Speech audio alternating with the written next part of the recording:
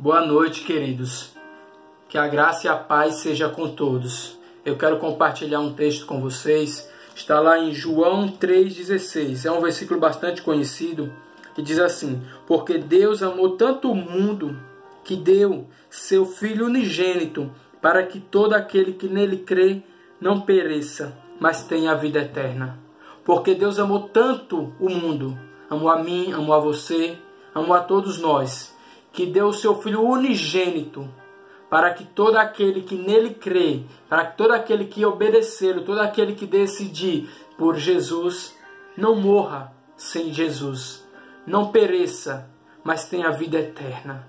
Então, Jesus antes, ele era unigênito, agora ele é primogênito. Ele era unigênito porque ele era único. Agora ele é primogênito de Deus porque ele é o primeiro de muitos que somos nós filhos de Deus. Ele é o primeiro filho de Deus, nós somos os outros filhos de Deus. Então Jesus ele veio para nos dar uma vida com paz, com alegria. Jesus ele quer te alcançar, Jesus ele quer te dar paz, Jesus ele quer te dar uma esperança nova nesse tempo de crise, nesses momentos difíceis que o país que nós enfrentamos. Deus ele é contigo, Deus ele é conosco, Jesus é contigo. Não desanime.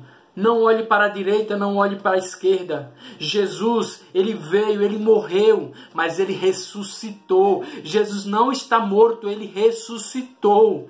Ele ressuscitou e Jesus ele trouxe vida para a minha vida e para a sua vida. A morte de Jesus não foi em vão. A morte de Jesus tem um sentido, tem um significado.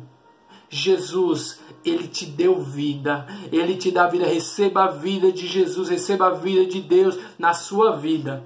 Aceite receber, aceite a Jesus como seu único Senhor e Salvador da sua vida. Que a sua vida vai ser diferente, a sua vida vai ser transformada.